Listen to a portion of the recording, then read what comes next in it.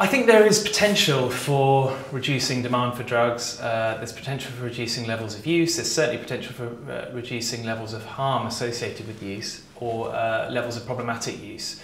Um, the, the, there are, and, and I think there's nobody in the drugs field who is opposed to prevention of uh, drug use or drug harms in broad principle. There's a, there is, however, an active debate about what the best way to do that is.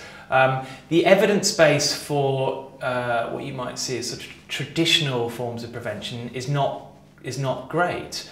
Um, things like the DARE program in, in the US have been pretty rigorous, rigorously evaluated and they, they've not demonstrated um, great value for money. They're very expensive and they haven't really delivered uh, the, what was hoped from them. That doesn't mean they weren't well intentioned or that they were entirely wrong, and there's clearly lessons to learn. And that, that, that, but, but essentially, the, the evidence base for more traditional kind of uh, school-based prevention or, or, or, sort of uh, mass media uh, prevention campaigns has not been great. It's not been completely flawed, but it's, it's, not, it's not been brilliant.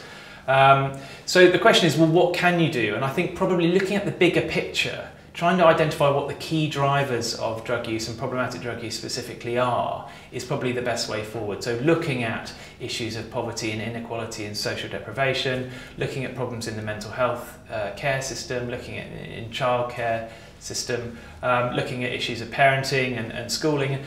You know, it's a huge issue, but generally, uh, I would suggest problems of um, uh, problematic drug use reflects low levels of uh, sort of social well-being. So, you, and, and addressing that is going to be the key to reducing problematic drug use in the longer term.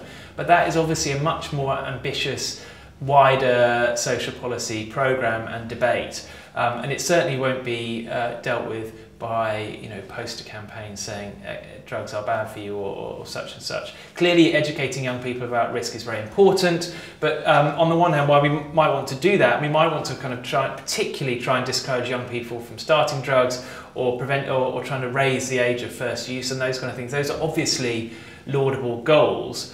Um, but we also need to take care that um, a, a significant minority um, can't be reached or that those messages won't impact on and they will try drugs. So we need to make sure for those people that when they do try drugs, they do so as, as, as safely and as responsibly as is possible. Clearly there are risks, undoubtedly there are risks, but we owe it to those young people um, to give them solid harm reduction messages so that if, if and when they do try drugs, um, they do so as safely as possible. So it's you quite mean, a trick. You mean illegal drugs when you say? I mean both kinds of drugs. Uh, illegal drugs carry additional risks, both in terms of the law and in terms of the unpredictability of what you're buying, and the, and the fact that you tend to use it in more marginal environments um, and not necessarily with the same uh, sort of uh, patterns and behavior, safe behaviours.